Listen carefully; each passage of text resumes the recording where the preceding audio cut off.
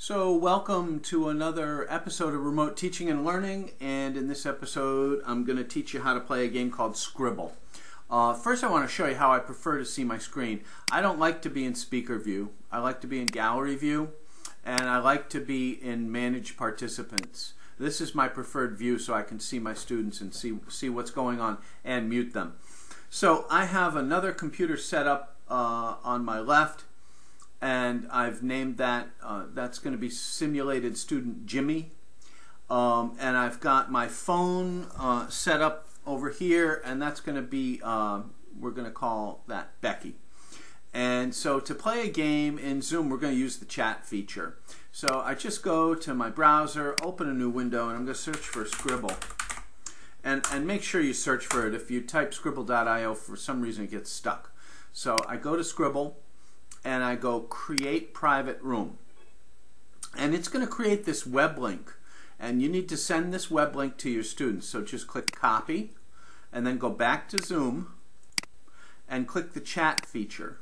And we're going to send this to our students. I'm, I'm right mouse clicking and clicking paste and then I hit enter. And now that's sent it to our students. On a phone, I just click it and click the link. On the other computer, I click chat and I click the link. And before you know it, everybody is in this scribble game. I just got to click play on the phone and play on the computer and we're and then I click start game as the teacher. Now obviously your students are going to be clicking all that stuff. Um, you're not going to have to do all this uh, running around.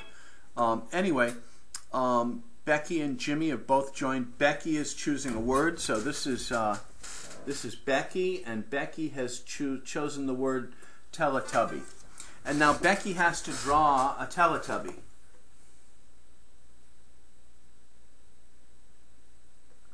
And I am not much for drawing.